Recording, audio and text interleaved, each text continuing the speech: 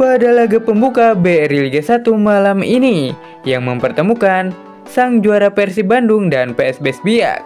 Sementara ini, hingga menit ke-58, keduanya berbagi angka 1-1.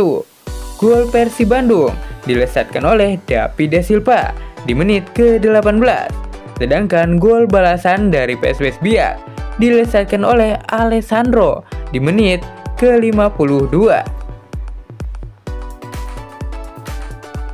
Data statistik menyajikan PSBS Biak mendominasi jalannya pertandingan dengan 63% ball position.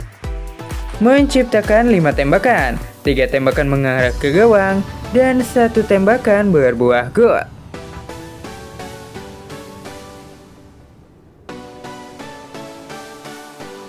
Jika hasil ini bertahan hingga peluit panjang dibunyikan, Persib Bandung akan menempati posisi pertama dengan koleksi satu poin. Begitu juga dengan PSBS Biak akan membuntuti di posisi kedua dengan koleksi satu poin.